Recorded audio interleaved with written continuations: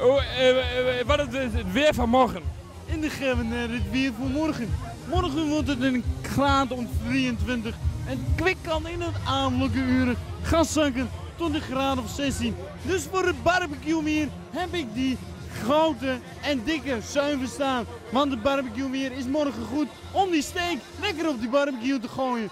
Dus vanuit hier op het Tropical Dance in het pittoreske Haaksberg zeggen wij tot morgen. Tot morgen.